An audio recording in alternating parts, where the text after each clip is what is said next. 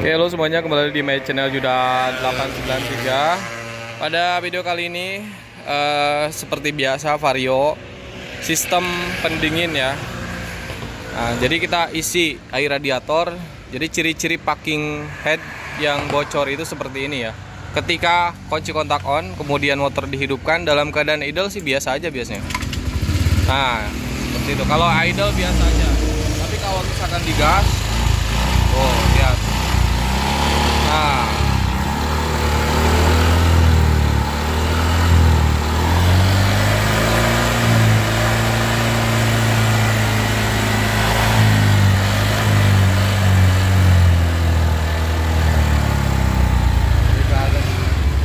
Nah, kenapa seperti itu? Karena ketika eh, mesin dalam keadaan RPM tinggi itu kompresi akan mendorong ya, kompresi mendorong si tekanan ke atas ini. Ya, jadi kemungkinan kemungkinan penyebabnya ini adalah eh, apa namanya si packing head ya, packing headnya bocor, packing tengah ya. Kalau misalkan packing tengah nggak bocor bisa jadi ya sebenarnya kayaknya packing tengah sih jadi ada beberapa kemungkinan packing tengah atau water pumpnya nggak nggak jalan ya. Water pump nggak jalan itu bisa jadi overheat juga. Nah kalau ini udah ketahuan sih.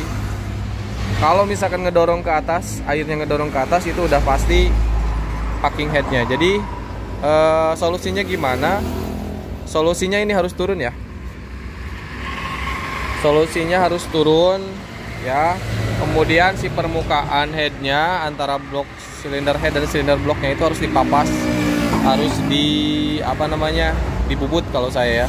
Ada juga yang pakai kaca pakai pakai kaca kemudian diampar pakai pakai amplas ya kaca atau pakai grease gitu. Tapi kalau lebih bagusnya sih dibubut. Nah tapi kalau misalkan dalam keadaan idle mas ya biasa aja. Nah, kita coba ya cek lagi ya. Kita isi lagi oke. Nah isi lagi. Ini hampir hampir habis gini ya. Nah kita isi kemudian kita on.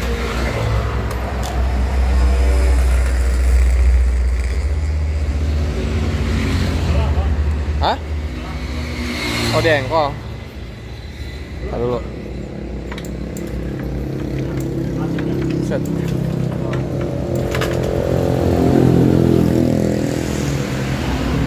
Nah, ini kalau dalam keadaan idle seperti ini, tapi kalau misalkan digas, dia muncrat.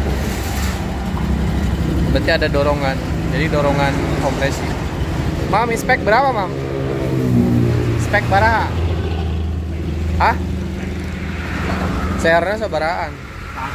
Standar. Tapi lebih keras eh. Oh, ah udah ini mah. Turun, turun, turun, turun. Oke, jadi itu teman-teman ya yang punya Vario ya.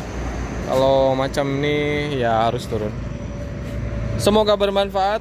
Terima kasih. Sampai bertemu di konten-konten berikutnya. Assalamualaikum warahmatullahi wabarakatuh.